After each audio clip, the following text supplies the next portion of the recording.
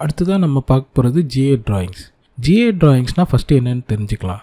ஒரு ஸ்ட்ரக்சரில் இருக்கிற மெம்பர்ஸ் பீமோ காலமோ என்னென்ன பொசிஷனில் ப்ளேஸ் ஆக போகுதுன்றது எல்லா ஸ்பெசிஃபிகேஷன் டீட்டெயில்ஸ் எல்லாமே ஜிஏ ட்ராயிங்ஸில் தான் நம்மளுக்கு தெரியும்.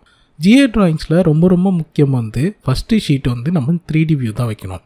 ஏன்னா அப்போ தான் ஒரு இரெக்டருக்கு நம்ம என்ன இரெக்ட் பண்ண போகிறோன்னே தெரியும். அடுத்தடுத்த ஷீட்ஸ் எப்படி இருக்கணும்னா நம்ம இரெக்ஷன் சீக்வன்ஸ் பேஸ் பண்ணி தான் இருக்கணும். இதில் வந்து பார்த்திங்கன்னா காலமோட பேஸ் பிளேட்லேருந்து ஆரம்பித்து ரூஃப் பர்லினில் போய் முடியும். ஸோ நம்ம வந்து எப்படி இருக்க போகுதுன்னு நம்ம பார்க்கலாம். ஃபஸ்ட் த்ரீ டி வியூ வைக்கணும். அடுத்ததாக பார்த்தீங்கன்னா காலமோட பேஸ் பிளேட்டில் ஆரம்பிக்கலாம்.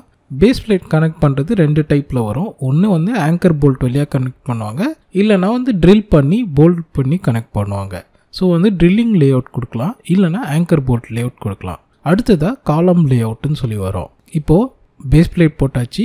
காலம் போட்டாச்சு. அடுத்ததாக வந்தீங்கன்னா உங்களுக்கு வாலில் ஏதாவது ட்ரில்லிங் இருந்ததுன்னா வால் ட்ரில்லிங் லே அவுட்டுன்னு கொடுப்போம். இல்லைனா வந்து ரூஃப் ஃப்ரேமிங்க்கு போயிடலாம்.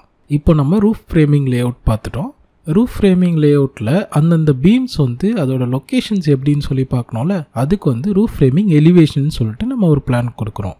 எலிவேஷன்ஸ் எப்படி எடுக்கணும்னா வந்து இரெக்டர் பாயிண்ட் ஆஃப் வியூலேருந்து எடுக்கணும். இப்போ ரூஃப் ஃப்ரேமிங் எலிவேஷன்ஸ் முடிஞ்சதுக்கப்புறம் இந்த மெயின் ஸ்டீலுக்கான டீட்டெயில்ஸ் வந்து நம்ம கொடுக்கணும்.